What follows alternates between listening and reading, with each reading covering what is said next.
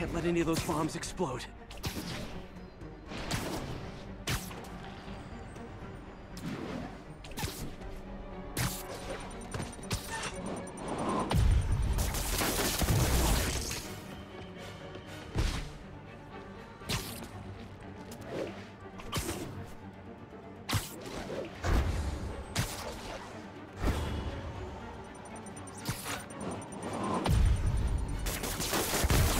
Find the last bomb.